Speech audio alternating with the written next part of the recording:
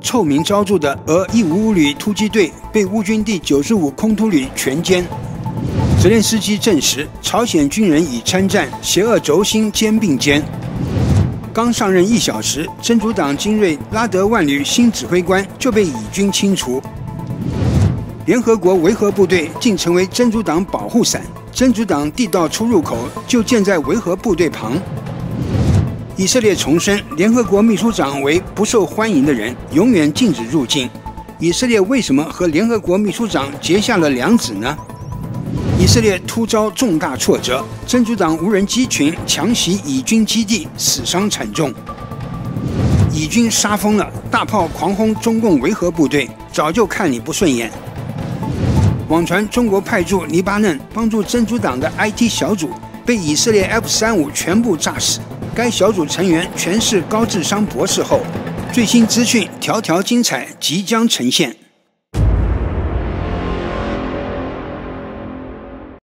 聚焦战场动态，剖析地缘争端，欢迎收看《新冷战情势》，我是雨桐。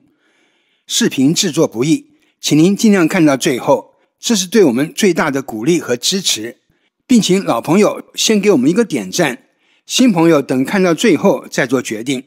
谢谢大家。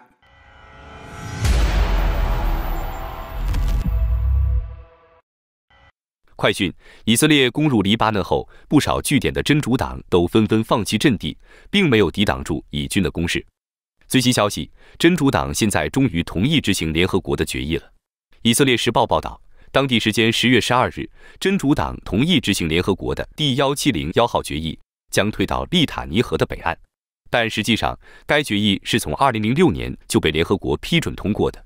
不过，真主党方面一直拒绝执行了十八年之久。在这十八年中，真主党还违反联合国规定，向以色列的北部社区发动袭击。现在，随着以军升级对真主党的清剿行动，并在连续清除其三任最高领导后，真主党终于想起来还有这份幺七零幺号决议。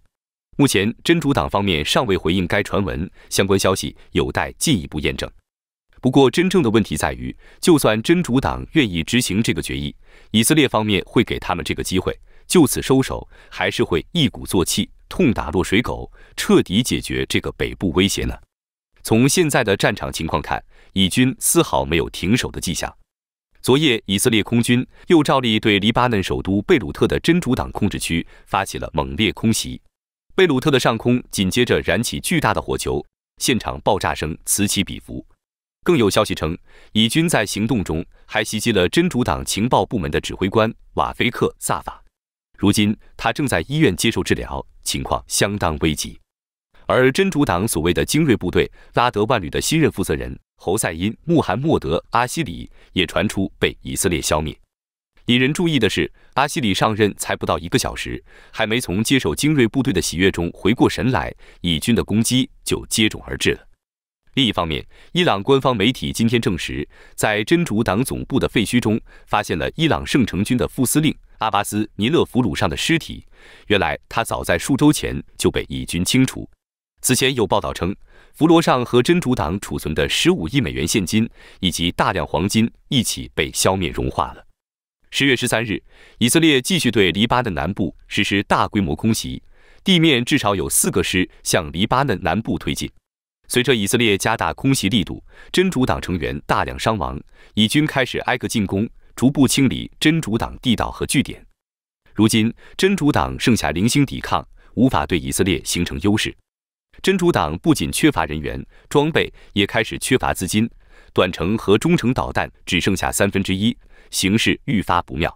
以色列国防部长加兰特在视察黎巴嫩南部时，霸气表示，前线真主党的军事目标将被彻底消灭，而且永远不会再建立。自2023年10月8日以来，真主党向以色列发射3万一千枚火箭弹和无人机，现在以色列开始还击了。过去一个月，真主党伤亡惨重，无力再进行大的战斗，最终会和哈马斯一样。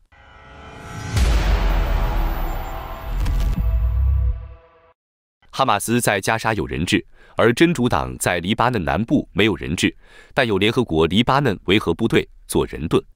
联黎部队在黎巴嫩南部存在四十六年，联合国第一七零一号决议生效十八年来都未能执行相关决议。真主党四十六年来愈发壮大，近十八年来，联黎部队也未能帮助黎巴嫩政府军控制黎巴嫩南部。如今，真主党被以色列打惨了，联黎部队也面临风险。以色列早就看不惯这个尸位素餐的部队的存在了，在某种程度上来说，他们就是恐怖分子的保护伞。以色列总理内塔尼亚胡昨日再次发表电视演讲，敦促联合国尽快从黎巴嫩南部撤离维和部队。那么，作为和平卫道士，以色列为何一再敦促联合国撤回维和部队，并在黎南执行军事行动中与联黎维和部队发生四次摩擦呢？民间有句话叫做“一个巴掌拍不响”，换作是你，你也会让他们离开的。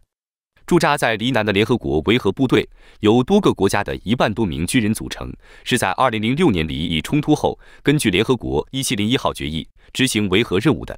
任务范围在下面的蓝线以北。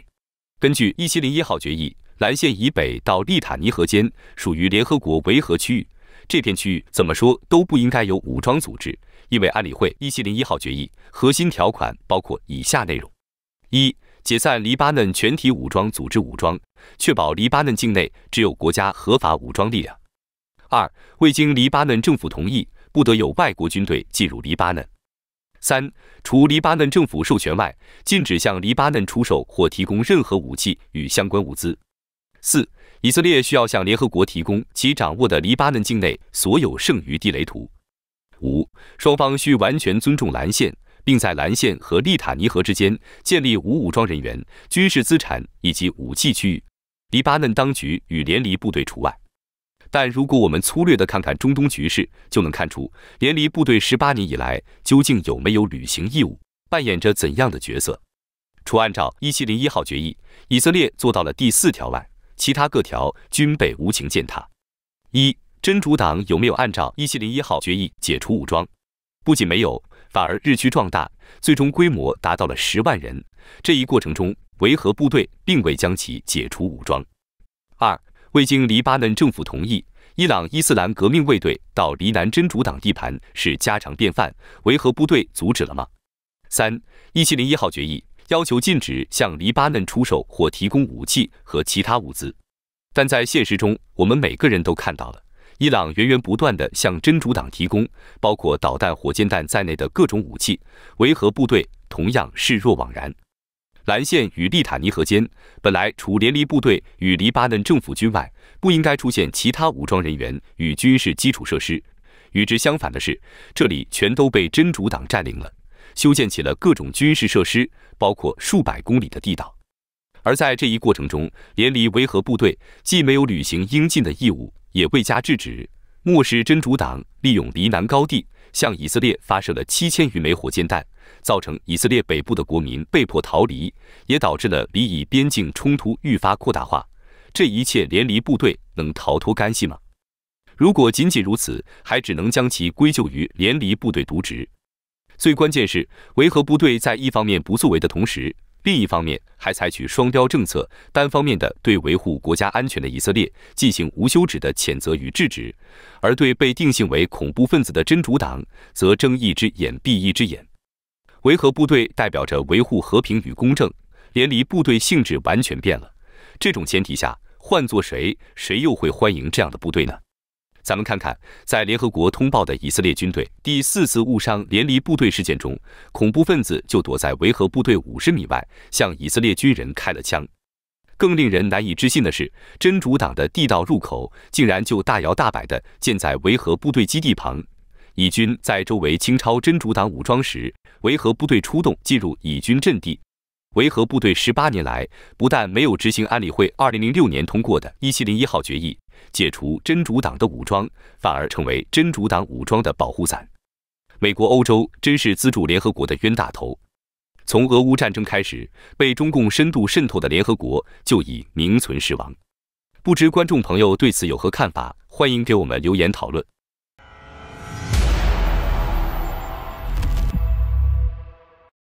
以色列外交部长卡茨于当地时间十二号。在社交媒体 X 平台上最新发文称，以方不会撤回此前宣布的联合国秘书长古特雷斯为不受欢迎的人的决定。此前，以色列的这一举措已引起国际社会的普遍反对和谴责。卡茨在帖文中表示，宣布联合国秘书长古特雷斯是不受欢迎的人，并禁止他进入以色列，是因为后者没有谴责伊朗对以色列发起导弹袭击。卡茨还援引民调声称，百分之八十七的以色列公众支持这一决定。古特雷斯可以继续努力在联合国收集支持他的签名，但这一决定不会改变。以色列在本月早些时候的十月二号宣布联合国秘书长古特雷斯为不受欢迎的人，并禁止他入境。这一举措引起国际社会的普遍反对和谴责。法国常驻联合国代表德里维埃表示，法国全力支持和信任古特雷斯。英国等国常驻联合国代表也强调了对古特雷斯的支持。俄罗斯常驻联合国代表聂边贾说：“以色列宣布联合国秘书长为不受欢迎的人，这一做法极其无理，闻所未闻。这不仅是对联合国的侮辱，也是对我们所有人的侮辱。”他呼吁安理会成员和联合国会员国对这一无理行为作出回应。中国常驻联合国代表傅聪强调：“中国坚定支持秘书长的工作，反对以色列对秘书长的无端指责。”很显然，以色列的这一决定石破天惊，激起了众多国家的愤慨。即便是美国，也从未胆敢公然斥责和制裁那位联合国秘书长。可是，一个小小的以色列，居然比美国还要更为霸道，列为不受欢迎的人。这样的处置制裁手段早已有之，不过都是一国对另一国的某个人或者某个组织、企业等，而把联合国秘书长化为处置对象的，闻所未闻，见所未见。不受欢迎的人，言虽简，但意很该；字虽少，但话很重。中东平头哥果真是人狠话不多，一言不合就开干。古特雷斯何许人也？古特雷斯是葡萄牙人，曾任葡萄牙总理、联合国难民署高级专员。二零一七年一月一日就任联合国秘书长，是首位政府领导人出身的联合国秘书长。那么，到底古特雷斯怎么了，才招致以色列说狠话、下制裁的呢？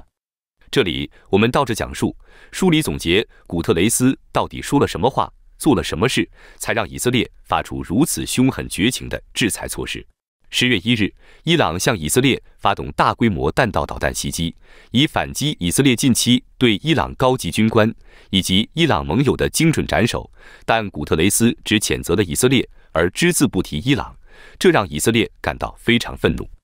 九月十七日，以色列常驻联合国代表丹尼·达农在联合国大会发言时称，联合国大会是马戏团。八月十九日，以色列常驻联合国代表埃尔丹在离任的那一天宣称：“这就是我过去四年工作的大楼。一方面，我对我在这里的战斗和工作感到满意；另一方面，这座建筑可能从外面看起来很漂亮，内部却已经扭曲变形了，这让我感到非常痛苦和沮丧。”联合国大楼需要关闭，并从地球上抹去，这也太硬气了吧！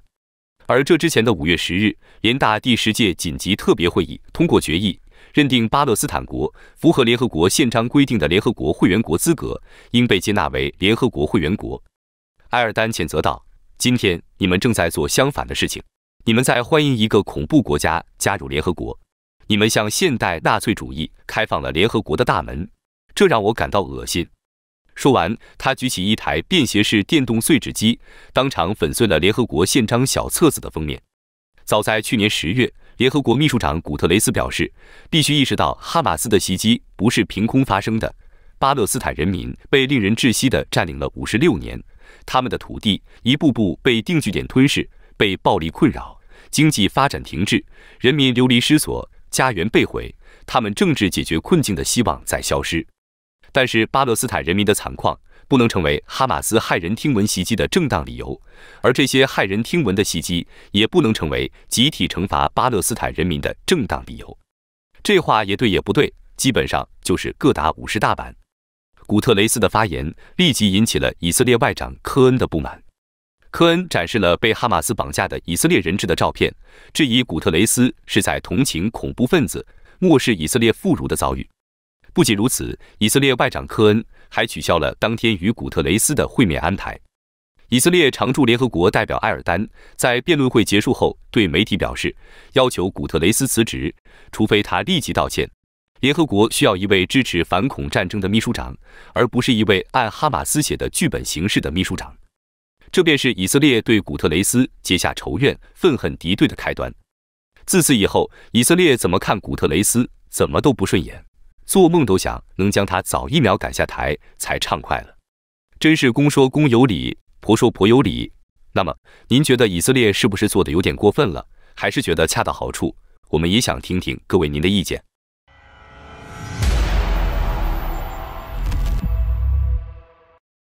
快讯：根据最新消息，真主党的无人机袭击了以色列第三大城市海法与首都特拉维夫之间的一个以军基地。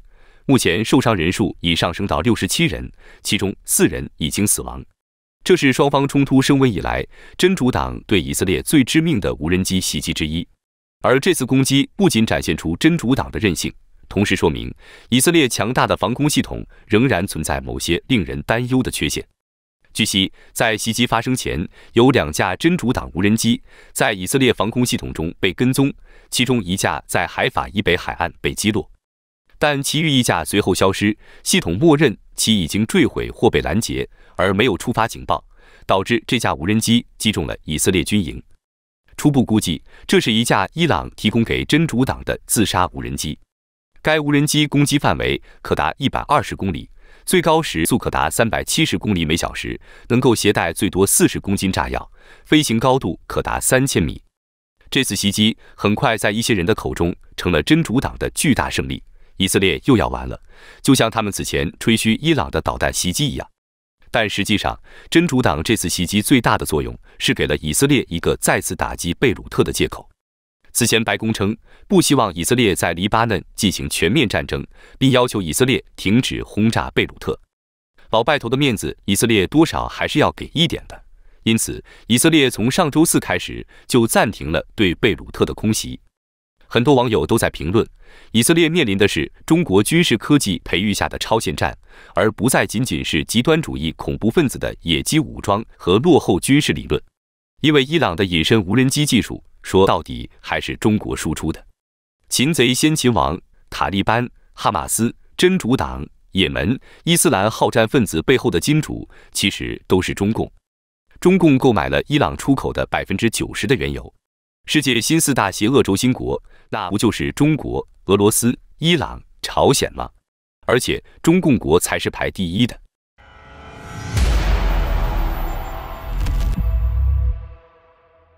但以色列人的报复很快就来了。以军之所以在黎巴嫩南部地区推进的速度并不快，一方面因为这里是真主党的老巢根据地，地下遍布密如蛛网的地道系统，且地形复杂，不便于以军机械化部队行动；另一方面，也可能跟联黎部队的干扰有关。于是，以色列军队包围了联合国维和部队营地，将坦克的炮管直接对准了哨所中的士兵，想给他们来一个下马威。企图用武力让维和部队知难而退。联合国维和部队一开始嘴还挺硬，说我们就不走，看你能怎样。很快，以军向中共驻黎巴嫩维和部队的哨所附近近距离开炮，所幸没有造成人员伤亡。中国维和部队战士被打懵了，有的直接尿了裤子，战战兢兢地向上级做了汇报，并请示是否要还击打回去。结果可想而知，被上级劈头盖脸骂了一通。谁吃了豹子胆敢还击？谁也不敢下这命令，当然不敢了。否则，只要还手，分分钟可以要了你们的小命。十几年前，以色列就炮击过联合国驻黎巴嫩观察哨所，致使包括中国观察员在内的四名联合国工作人员不幸遇难。这点记性还是有的。中国在该地区派出了大约四百一十名驻守人员，但外界普遍传言，也有内部人士透露，这些人都是中国工程兵。他们平时别的事不干，最大的工作就是指导真主党如何挖地道和修建防御工事。于是维和部队下令从该地区至少撤出三百人的部队作为回应，并还将陆续撤出更多部队。这就对了，识时务者为俊杰，否则大炮不长眼睛。当然，以色列的目的肯定不是真的要和联黎部队开战，而是希望迫使他们从利塔尼河离开。刚才我们说了，真主党不少地道的入口就建在维和部队基地旁，最近的只有两三百米。以军在周围清剿真主党武装时，有联黎部队出动进入以军阵地，导致以军的行动受阻。以色列总理日前打电话给联合国秘书长，要求其撤走在黎巴嫩的维和部队，他的理由也很充分。联合国一七零一号决议授权联黎部队在其部队部署区内采取他认为力所能及的一切必要行动，确保其行动区不被用来进行任何类别的敌对行动。但过去十八年，他们并未做到这一点。现在出来阻止以色列的敌对行为，的确有拉偏架之嫌。这就好比一个地痞流氓天天砸人家的店子，警察在一旁睁一只眼闭一只眼。一旦店主拿起刀反击，他们立即想起自己的职责了。合着法律只是用来约束良民的吗？今天在网上还有一件事也传得沸沸扬扬，什么事呢？说是中国派驻黎巴嫩帮助真主党的 IT 小组被以色列 F 三十五全歼，该小组整个团队都是博士后以上的学历，全部来自中国西北某大学，真恶心！中共竟然专门派出高学历的 IT 团队协助真主党从事恐怖活动。该社交媒体帖子全文如下。来自潮汕亿万富豪朋友圈的消息，向战死在黎巴嫩和叙利亚边境地区的博士团队 IT 小组致敬。他们都拥有博士学位，被秘密部署，出色的完成了干扰任务。然而，他们的行踪和坐标被以色列摩萨德雇佣的当地抵抗组织内部叛徒出卖，最终被以色列的隐形战斗机 F 三十五炸死。他们的母校是某国西北部地区的某大学。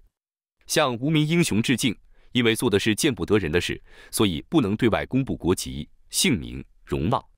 说的好听是无名烈士，说的不好听就是替我党干脏活，死了白死。